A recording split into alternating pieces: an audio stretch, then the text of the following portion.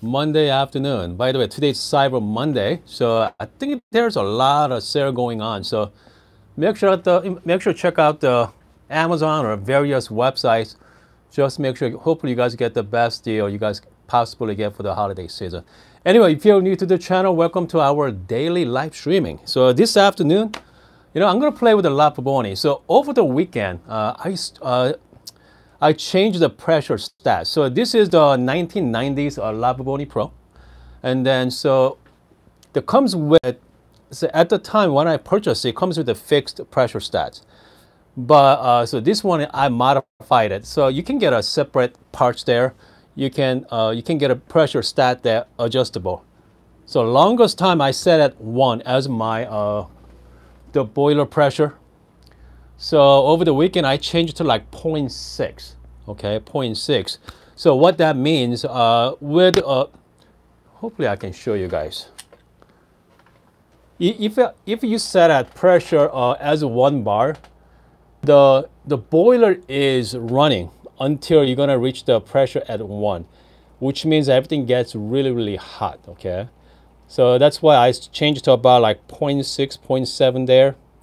So which means the boiler doesn't have to be, the pressure does not need to be uh, one to get the right pressure. So again, so uh, boiler should be stopped at 0.6. I hope I'm conveying it right there. But again, so I set it uh, 0.6 or so. And then uh, I have the, let's hear, this is the one of our friend, CY's coffee, Yunnan red wine. Uh, now, uh, this, I believe this is a honey process. Okay, uh, I really enjoyed it last time. If you guys are into wine, this is amazing. So with uh, La Pavoni, so I, I'm going to be dosing out about 14 gram here. This is more like a medium to light roast. Uh, more like light to medium roast there. Tasting note is tropical fruits, mango, red wine, and sweet and bright. Okay, so let's get going here. So I think everything should be all good to go. It's been warmed up nicely. And then I'm gonna be using my niche grinder this afternoon. Let's see here.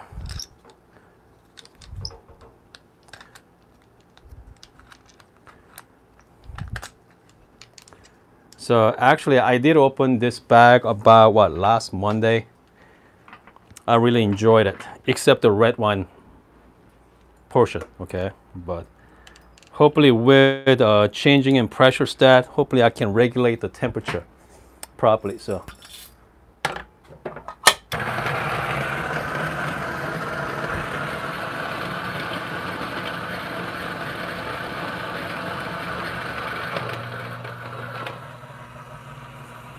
Okay.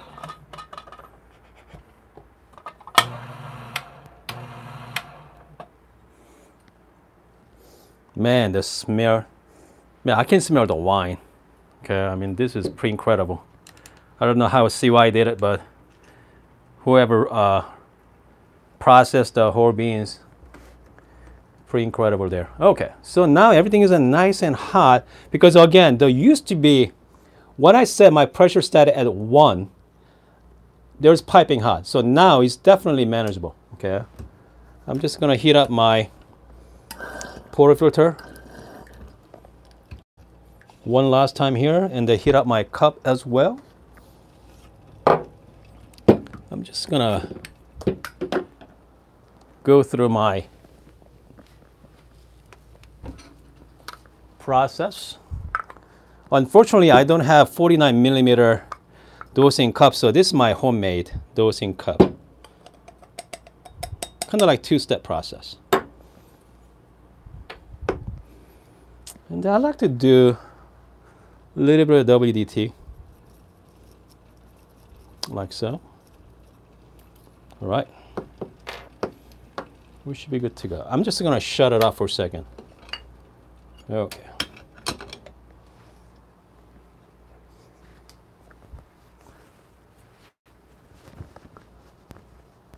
I think I said it, uh, Jackie mentioned, it's about 0.7 but again, before I set a one, man, that was way too high. All right, here we go. I'm just gonna.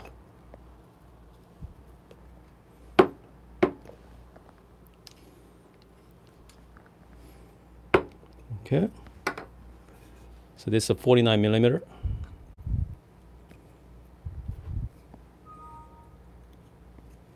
So what I'm gonna do is I've been really enjoying the paper on the top. So this is uh, AeroPress paper.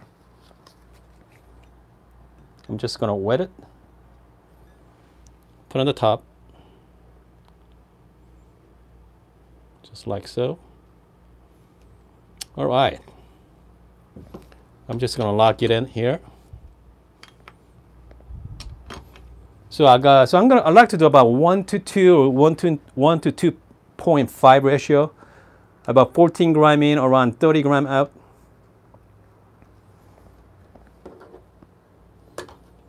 And that comes to extraction time. Since I'm gonna be doing the flow control, so we'll see. Okay.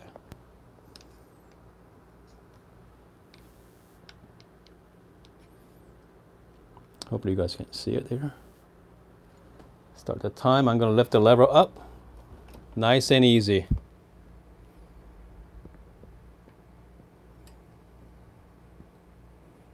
I'm just to wait about about what 10 or 15 seconds or so. I'm just gonna give it a go. I, I, I wish I had a pressure gauge, but give it a good pump here. Go nice and easy. Won't even see the dripping. Just get a good pump here. Go nice and easy.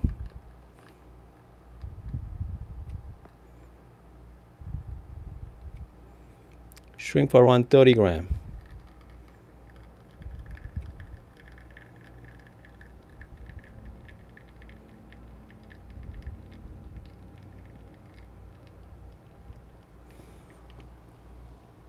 Okay, I'm a little short there, about 25 gram. There we go.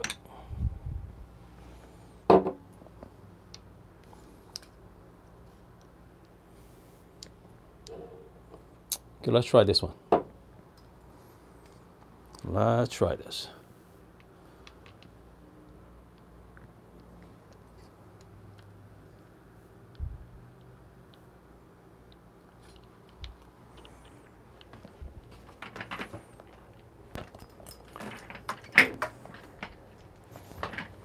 So this one is the, hold on a second guys, let me re so this is the uh, Yunnan uh, from, uh, I think the China, I think. Wow, you know what? Again, if you guys like wine, this is fantastic. Okay, this is fantastic. Because I'm not a big, uh, I'm not a big wine guy, but let's try this anyway. Okay, last time I tried with uh, with a Lelit Bianca, boy, I can taste all the red wines and Let's see what else. He said uh, mango and tropical fruits. I don't know. Let's find out. Cheers, guys.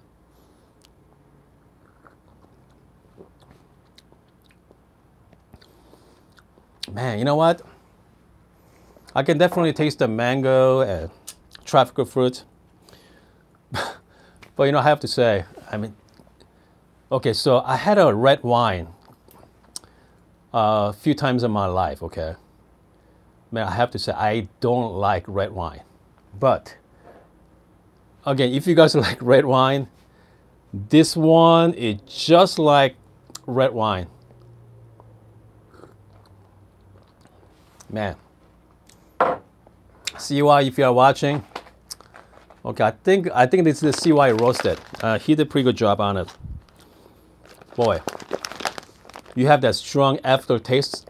I mean, just like if you guys had a red wine, if you have that aftertaste, that wine taste, this is it. It doesn't taste like coffee, okay? Okay, so uh, Jackie asked, uh, how's the temp? Uh, you know, I'm not sure, Jackie. I, I did not uh, measure it, but maybe I should do that next time. Okay, definitely. But again, is is is nice. I mean, if, again, if you guys like red wine, this is amazing. So I, I think they changed the pressure stat from 1 to like 0.6 or 0.7. I, I changed it. Man, make a big difference in uh, the, the, the temperature of the uh, coffee for sure. Okay, so I think it's much, much better, uh, much balanced shots. Yeah, it's pretty good. But if you're new to the channel, welcome to our daily live streaming.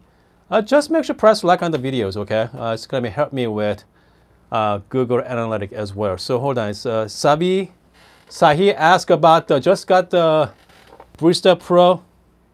Okay, I cannot get a decent cup of coffee. Okay, I have to run playing the. Okay, you know what? Uh, Sa, uh, Sa, Sahib, uh, what kind of coffee you been using? Okay, okay, that's the problem. You're using the San Francisco Bay coffee. That is your problem. So they're very dark and oily.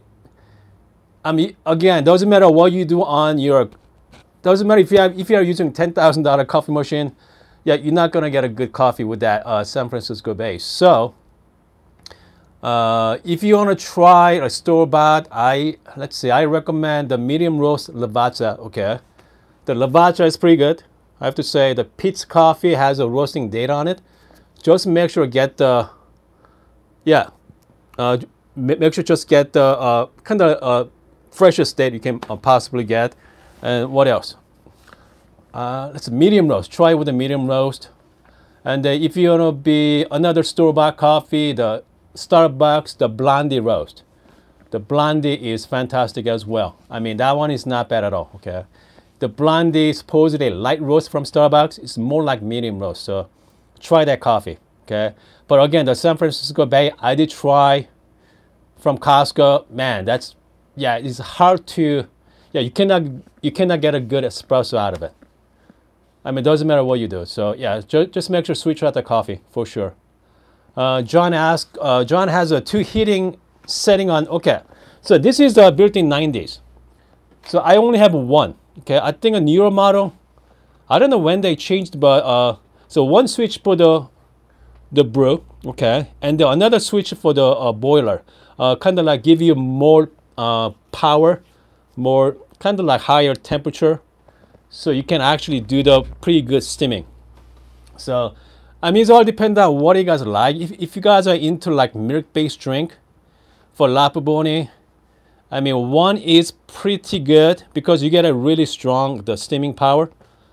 And then, but if you are into espresso, uh, I think you want to be, you know, lower than one for sure, the pressure stats.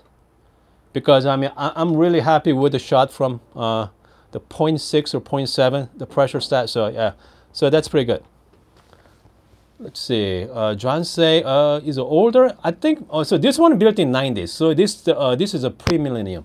So, and also uh, you can actually switch out the pressure stat. So I, I used to have an older pressure stat. They are fixed, but this one is adjustable. Uh, so I got this one from, let's see here. I, forgot the name of the La Pavoni specialty shop. But anyway, so it's about 30 bucks or so. You can you can swap it out. It's very easy. Okay. Okay. Oh, John say he's in seven days. Man, that's pretty good though. So you know what? I prefer the two switch setup. So uh, you, you definitely get a better uh, steaming power. All right. Uh, no, it's not a coffee sensor. It's not a coffee sensor. Man, I, I, I forgot the name of it. Uh, he's very, uh, really well known. Uh, he's in U.S. Small shop there. Anyway, uh, let's see here.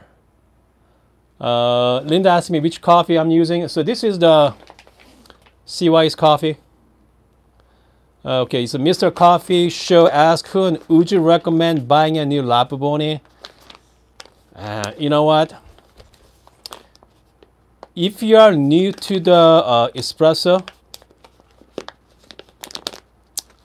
I won't recommend it because this one takes a lot of uh, learning curves for that. It's not an easy motion to learn, okay? It's not an easy motion to learn, but it looks really nice, okay? Definitely conversation piece, but I mean, if you're just getting into espresso, I mean, stick. I mean, I don't know. I recommend like semi-automatic. But once you're getting into milk-based drink, uh, again, so this, yeah, I mean, so this is really good motion to, motion for second machine. Okay, John thinks they're good to learn about coffee here. I mean, this is amazing. I mean, this one is you have control of every aspect of the coffee making. It's all manual, okay? You have to understand the temperature, you have to understand the pressure. I mean, goodness. I mean, yeah, uh, comes to if you're using the bottomless portafilter, you have to understand the WDT as well distribution. So, I mean, if you don't learn about coffee, sure, why not, okay? But just make sure you have some patience with it. Okay, you have to have some lots of patience to learn, willing to learn the machine. I'm still learning it, so let's see. I think Patrick is right. So there's so many variables, it can be frustrating. Yep. I mean, it's not easy machine. But again, but once you start figure it out, once you figure out the La Pavoni, I mean, if you uh, move on to the next machine, you should be, yeah, you should be set. Okay, you should be set there. So again, uh, make sure get the good grinder. So grinder is a key. Uh, just make sure get yourself nice grinder with it. Uh, comes to price wise, it's not bad. Okay, just make sure if you get the La Pavoni, get the larger boiler. Go with the Pro model because uh, this is a larger boiler. So because I mean, if you want to make, if you want to make more than three cups, yeah, just make sure you get the right one. Because you don't, you do not want to refill the uh, boiler the meter of coffee making because everything is all pressurized. So yeah, so you have to cool down. So yeah, ju just make sure spend extra couple hundred bucks, get the larger boiler there. Okay, and then what else there? Uh, uh, Domini, Dominisco. Yep, I mean, again, so this is an amazing machine to learn, okay? How to make good coffee. But again, comes to consistency wise, I mean, it's not consistent, okay, shot to shot, from my experience though, okay. So, again, uh, I'll go back to having a good coffee is important and also good grinder. And, you know, comes to making coffee with the La Pavoni, you just, you know, take your time and learn, you know. I think you should be, you should be good to go there. Okay, hold on, we get Leonard mention about uh, okay thinking of upgrading my setup by starting ooh, getting an Atom 75 eventually get the Bianca unless I hit the lottery. I'm looking at the you know what? Atom 75 is great coffee grinder okay. And the Bianca is also great setup. So yeah I mean goodness. Uh, start with grinder Okay, I think uh, I think I go with the grinder first. Okay, and then it's uh, say uh, 99 Europiccola with a niche. That's a really good combination as well. So because you figure uh, what La Pavoni costs you about thousand bucks, and then a niche grinder costs you about 700. So under two grand, you can get an amazing setup. All right. So any tips on pulling super bitter. Okay.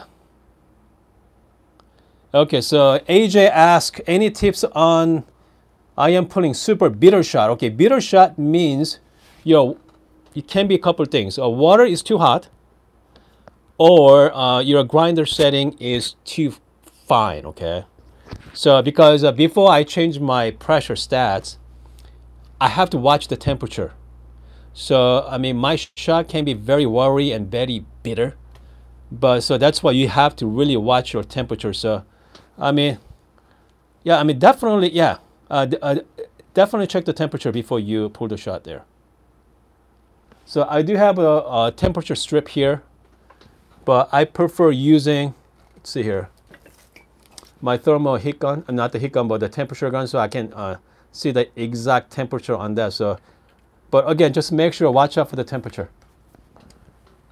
And then once you figure out the temperature, uh, you should have a pretty good shot.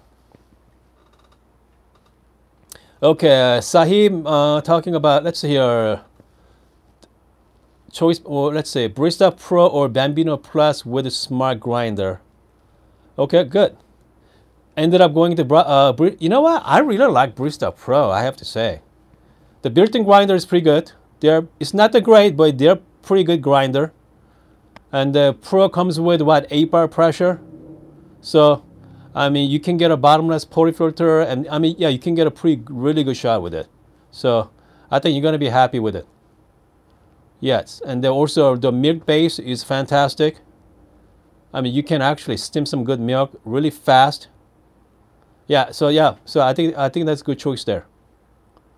But again, the built-in grinder is only good for pretty much espresso. So I mean, if you guys are into, you know, if you want to be, if you want to do like pour over, French press built-in grinder is not suitable. But if you want to make latte or americano or you know, any kind of espresso drink, yeah, they're they're fine. All right, I think we are pretty good this afternoon. So again, the temperature, the pressure stats, I mean, works beautifully. Okay, this, this shot I mean, this coffee, you know, I'm not a big fan of red wine, so I mean, if you are into red wine, this is amazing.